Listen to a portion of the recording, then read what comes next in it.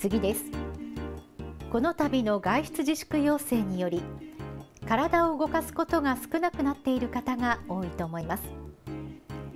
感染症対策中健康的な生活習慣を維持するために自宅で取り組めることをお伝えします。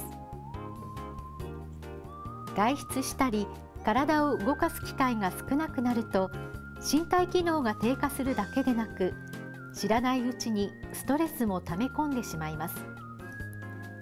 市では感染症対策期間中にも自宅で取り組めるおすすめのトレーニングとして10年後の元気を合言葉にした10の筋力トレーニングを推奨しています。立つ座る歩く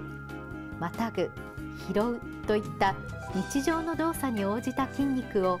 10種類の筋力トレーニングで鍛える内容で運動に自信のない方も安心して取り組めます。ぜひ参考にしてください。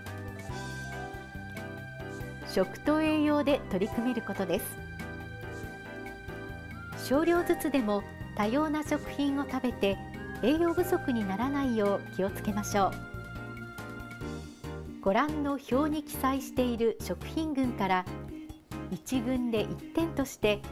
1日7点以上を目安にしましょう。宅配や配食サービスも上手に活用しましょう。ご自宅ですぐに取り入れられる内容もあります。皆さんがそれぞれに無理なく楽しく体を動かすことで健康増進へとつなげていきましょう。